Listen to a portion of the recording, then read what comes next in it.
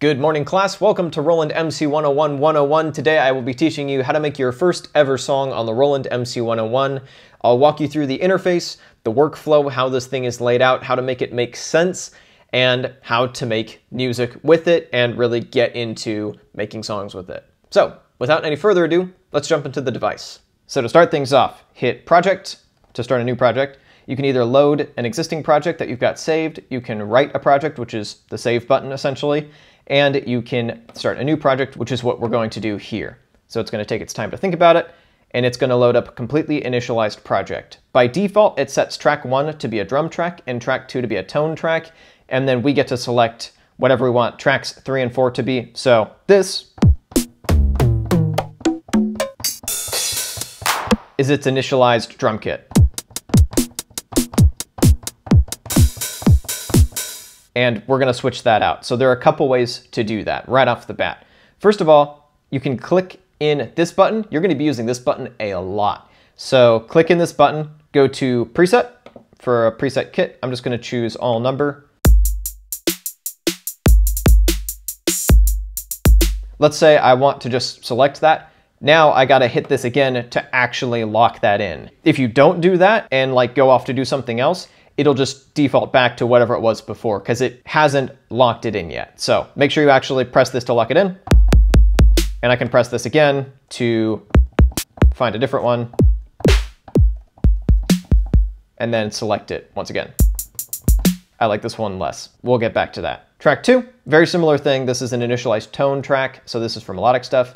Go to preset. And in this case, they've actually got it separated out into folders. So you've got your basses, your leads, pads, so on and so forth. I'm select a poly key. And this is set to like a standard chromatic scale. I did that out of order, but you get the idea. I'm just gonna select a random patch. You can change that and I will get back to that in a little bit. So those are the main kinds of tracks that you will probably be using. So let's dive into how to record stuff and then how to start modifying stuff. And you can do that in whatever order you want, but I want to try to lay this out in a somewhat logical order. So the first thing that I typically do is I will hold shift and then record to double check that input quantize is turned on. It is because I like to record with quantization because I'm typically making dance music or trap. So quantized it is. And I'm also going to hold shift and hit this measure button right here. This will allow me to change a bunch of aspects about this clip, and I'll get into clips in a second. What I want to do right now is set the step length to be higher. Its default is 16 steps, so 1, 2, 3, 4, 16. I can set that to be longer, so if I set it to 32, that's two bars of music. If I set it to 64, that's four bars of music, and so on. So right now I'm gonna set it to 32. Select that. Always press this button to select stuff, basically, and then to kind of exit out of that, hit the exit button. To get myself started, I'm going to program in a hi-hat. So I'm gonna hit sequence, and this grid is basically your piano roll, kind of. It shows where notes are in time. So if I place a note here, it places a hi-hat at this moment in time. If I place a hi-hat here, you can kind of see visually how that works. So if I just do this, and I've got another measure of music, so I'll bump this forward and do the same thing right here. Also note, if you want to do a hi-hat roll, say right here, hold down sequence, press this button multiple times to get different sounds. So this is also going to function as kind of my metronome. So now what I can do, and I can record that in.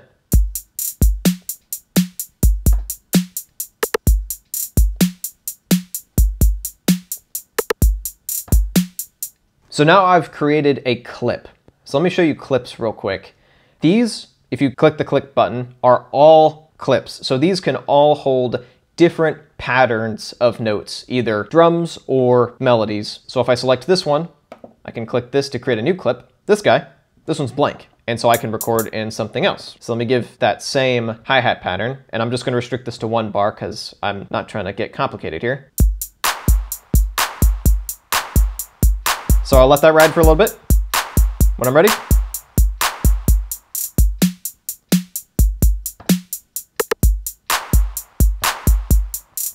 And that's how clips work. And I'll show you a more powerful version of this in a second here. Right now, this snare is super dinky. So I'm gonna switch it out. I'm gonna hit shift, select the pad. And I can browse either by preset stuff. So I can go E snare. They've got all their built-in snares just here for the loading. So I'll just select one. That's a little better. Or I've already gone ahead and loaded some samples on in the SD card. So if I hit shift and this again, I can go to wave file and I can audition my sounds by hitting the sound button. Now I've got a bunch of stuff loaded in here. In this case, I've put them in a somewhat alphabetical order. I'll just select this trap kick for now.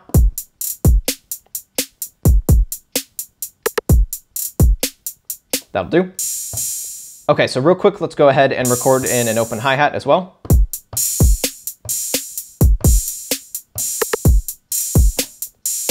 So that's a bit loud and a bit grating. In order to modify the sound that the pad contains, you hit shift and then pad like I showed you earlier.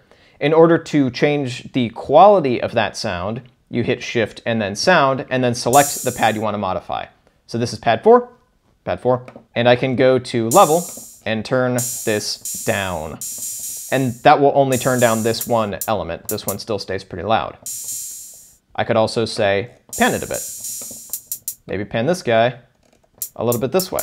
Basically, you can scroll through these and then to change that parameter, you click the button in, then you get access to this. And then when you want to stop, you just press it to accept that change, and then you can continue scrolling. There's a lot of stuff in here. Note that if you want to EQ stuff like I do here, you have to turn that EQ on first for it to even have any effect. And then I can like turn down my high gain.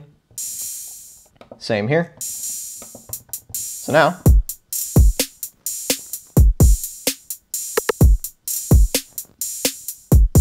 and that should be good enough for now, just as a really basic pattern. So before I move on, let's go ahead and save this. So go to Project, go to Write, and then you can go back and forth, to change these notes. So let's just call this new.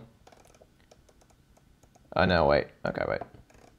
So let's just call this new right project.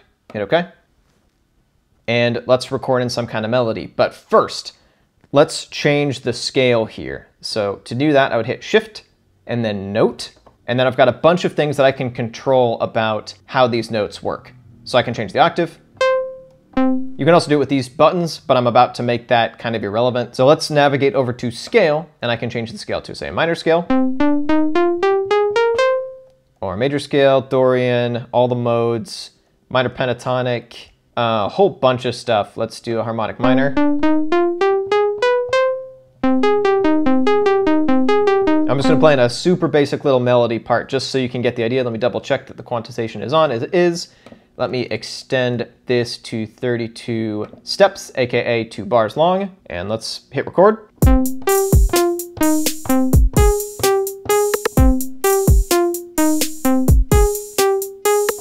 Not the most interesting piece of music ever written, but hopefully you get the idea. I can also, of course, do chords. So maybe I will go down an octave.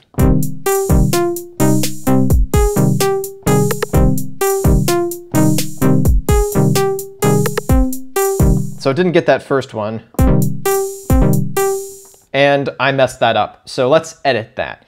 Now, if there's someone who is more experienced who happens to be watching this, let me know if there's a quicker way to do this because this is the clunkiest thing about the 101 and I hate it.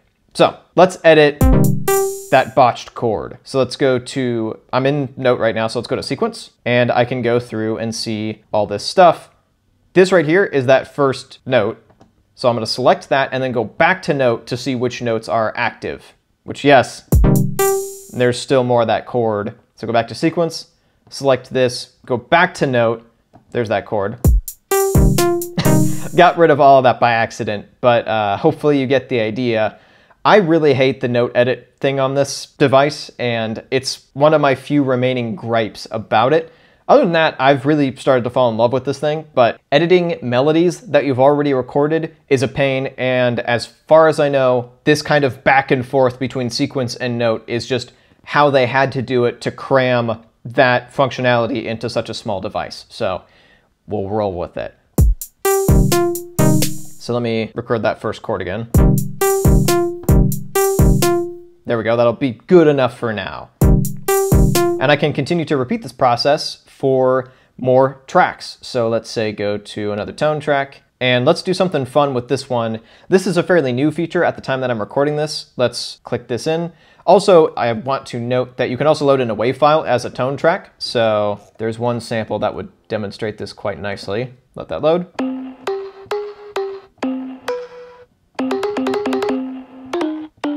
So that's not generated by the synth engine, that's an actual sample that I've loaded in on the SD card. And then let's start one more track. I'm not gonna go into looper tracks because I don't really use them much. Roland's got a video on how those work if you would like to use that. They're not a looper in the way that you're thinking, but you can load an audio file onto this and then just let it kind of play through. But let's start one more tone track. And let's click this in and go to random. This is fun. Okay, so what I was just in the middle of before my camera ran out of storage was uh, selecting this to give me a random mono patch, and I can do this again. Which is pretty cool. I'm not sure how truly random it is. It may be that there's like a bank somewhere, or they just have a pretty good system of like parameters to kind of guide the engine, but regardless, it's pretty sweet. So let me send this down another octave and just record.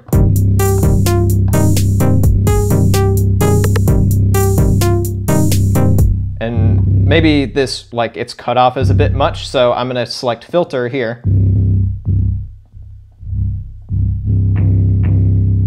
Ooh, that's even better. And also effects, this is how you send something to, say, reverb. Sound, this typically controls a default parameter of the synth. And different uh, patches will have different parameters that this sound part controls. And once again, I can go back and control cutoff. If you're in filter, it always controls the cutoff, period.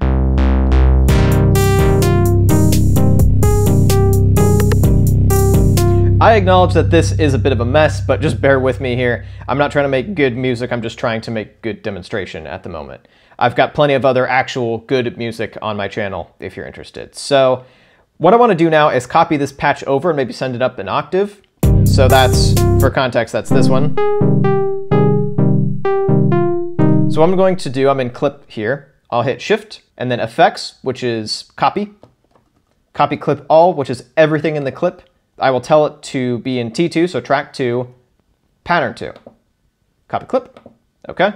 Now that's living in here, and I can modify this as I please. So I'll hit shift and this clip, and I can modify elements about it.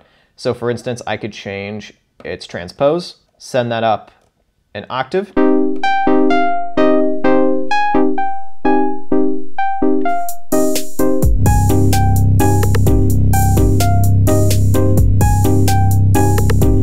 Okay, that's actually kinda tight. So let me show you how to do dramatic switch ups because as you can imagine, selecting a track and then selecting its clips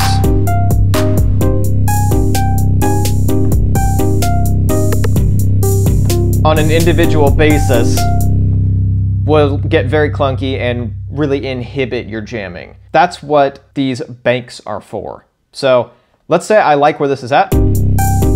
I like this as a segment of a song. I will hold down clip, hold this down to store that scene. Because there are a bunch of banks of scenes, that's another fairly new thing, but a scene is basically a section of a song.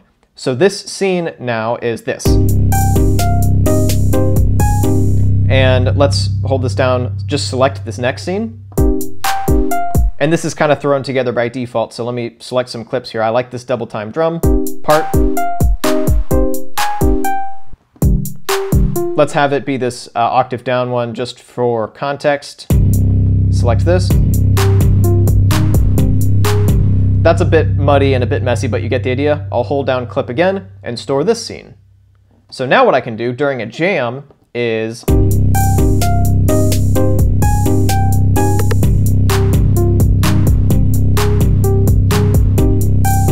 scenes for drastic changes in sounds. And also, there is a way to switch out patterns across different clips. I'm not gonna go into that here, but that is something you can do and I'll link a video on how to do that. And then that can become even more powerful if you use scenes because then you're actually able to have dramatic song switch ups, which is really important to me. So real quick, let's go into the scatter. This can be a lot of fun.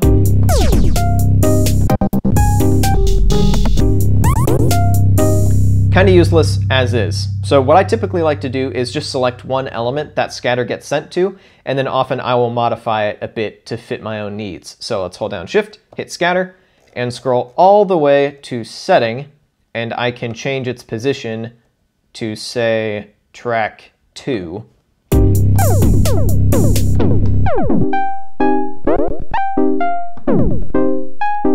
So now, not only will this get sent out to my computer when it's recording via USB, but it will only control track two.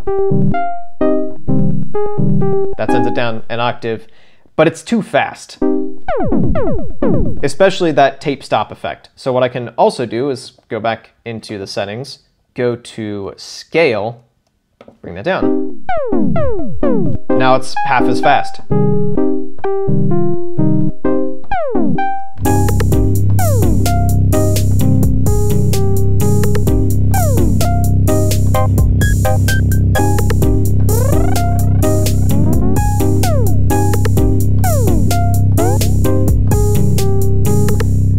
Now it's quite a bit more useful and a lot more musical in nature. That is the basics of how to make your first song on the Roland MC101. From there, you would want to go ahead and start more clips with more elements in them. Control filter movement. I typically like to like have faders jump up and down to mute or unmute stuff, but you can also control that by using clips and scenes. But that is the basics of how to use this, and I'll link some further resources in the description. All right, that is it for today. Thank you so much for watching. If you'd like to see more videos on making music on the Roland MC101, you can click or tap up over here. And if you'd like to see some jams I've done with the device, you can click or tap down over here. Thank you so much for watching, and I'll be back with a new video in a little bit.